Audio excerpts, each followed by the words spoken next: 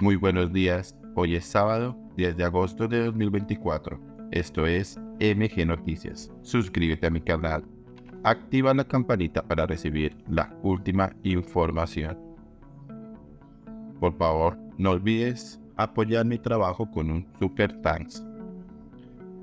El día de hoy, un informe de El Diario El Nuevo Signo. Caso UNGRD. Fiscalía Sierra Cerco sobre Bonilla y Manrique. Ente acusador investiga a varios funcionarios y exfuncionarios por corrupción en UNGRD. Últimas noticias. Nuevas revelaciones hizo el organismo por la supuesta participación del ministro y el director de función pública en este escándalo de corrupción. El primero por el direccionamiento de tres contratos para favorecer a congresistas y el segundo por presuntas coimas en contratación que se hizo con 100 mil millones que se trajeron de la Agencia Nacional de Tierras. Tal vez lo más relevante de todo, lo que expuso esta semana la Fiscalía del Acervo Probatorio en la audiencia de medidas de aseguramiento contra Olmedo López y Sneider Pinilla por los hechos de corrupción en la Unidad Nacional para la Gestión de Riesgos de Desastres, UNGD, es que dio más detalles de la supuesta participación del ministro de Hacienda Ricardo Bonilla y reveló también la presunta intervención de César Madrique, actual director de Función Pública.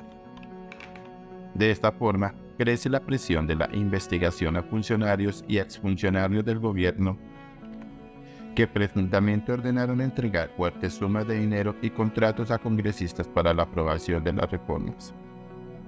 Otra cosa fundamental que dijo la Fiscalía en esta audiencia en boca de la fiscal delegada María Cristina Patiño es que acordaron generar una empresa criminal para cometer delitos contra la administración pública.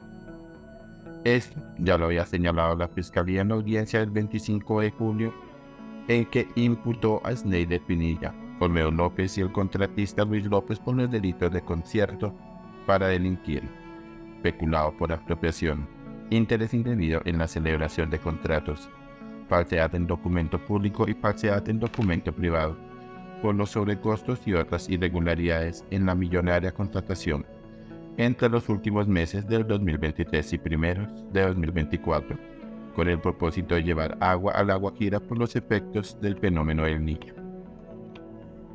Olmedo López y Sneider Pinilla, respectivamente, es director y ex director de la UNGRE que le figuran hasta el momento como los principales responsables de este entramado de corrupción, han declarado a la Fiscalía en el marco de la colaboración que tienen con la justicia buscando un acuerdo de oportunidad que les significa algunos beneficios penales que de la millonaria contratación para llevar agua a la Guajira se sacaron recursos para entregar a varios congresistas. El exdirector y el ex subdirector de la UNGD, han entregado a la Fiscalía nombres y un voluminoso paquete de información con documentos, grabaciones de audio y conversaciones de WhatsApp en que se comprobaría la participación de algunos ministros y altos funcionarios en los hechos de corrupción. Olmedo López asegura que en una reunión que él calificaba de conclave el pasado 27 de noviembre en la oficina del DAPRE, Departamento Administrativo de la Presidencia de la República, algunos ministros y altos funcionarios le dieron instrucciones para que entregara dinero y contratos a por lo menos 15 congresistas. Aunque el exfuncionario considera que el presidente no sabía, el presidente creo que en la medida en que han transcurrido los días recientes viene conociendo parte de la verdad.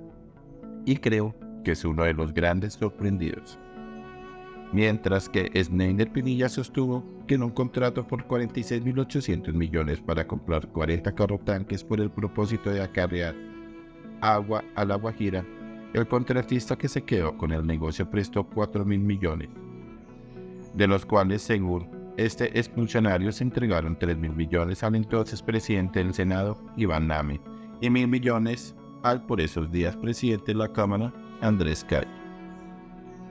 Como consecuencia, la Fiscalía el pasado 18 de julio abrió investigación preliminar al ministro de Hacienda Ricardo Bonilla, al entonces director de la Dirección Nacional de Inteligencia Carlos González, quien renunció al cargo los días siguientes, al exministro del Interior Luis Fernando Velasco y a la exconsejera presidencial para las regiones Sandra Ortiz.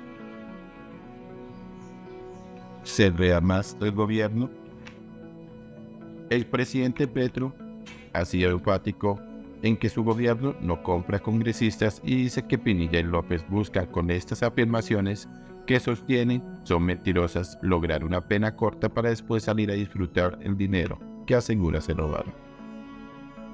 Asimismo, el ministro Bonilla, el exministro Velasco, el director de la Función Pública César Manrique, el exdirector de la Dirección de Inteligencia Carlos González y las consejeras para las regiones Sandra Ortiz sostienen que no han incurrido en irregularidades y que López y Pinilla mienten.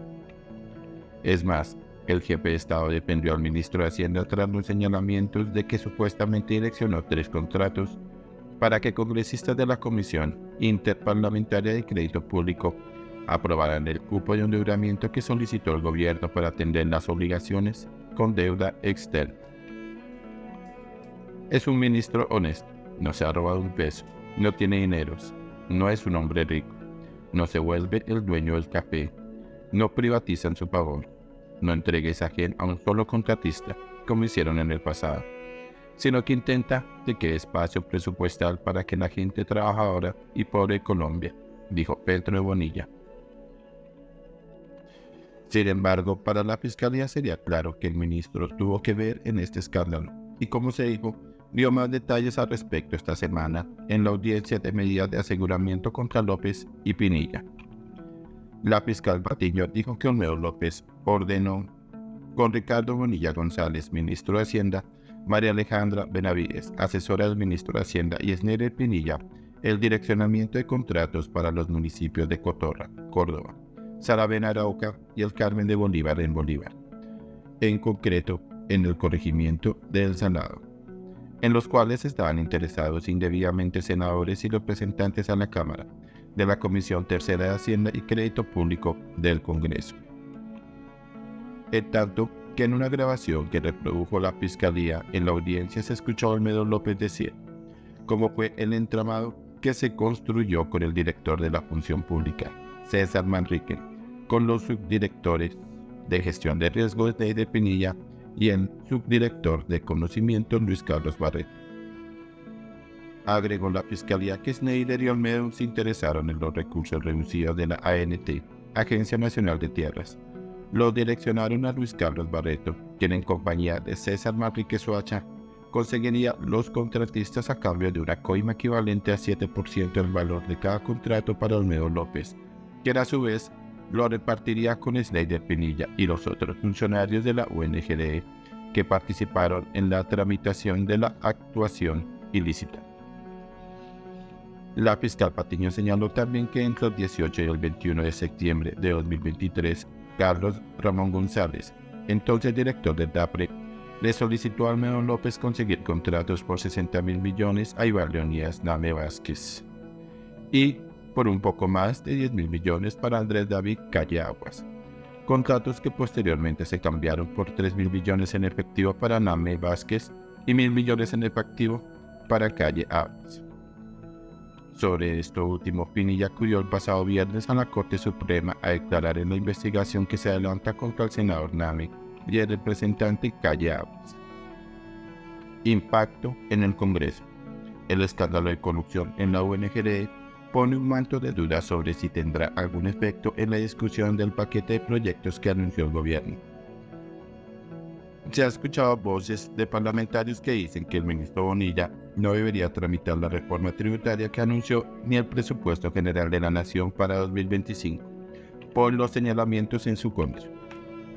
La representante Jennifer Pérez dijo que cuando acaba de ser señalado por la Fiscalía por presuntamente haber hecho parte de esta red de corrupción, desde mi perspectiva, no hay nada que justifique que el presidente Gustavo Petro siga dependiendo y atornillando en su cargo al ministro Ricardo Bonilla.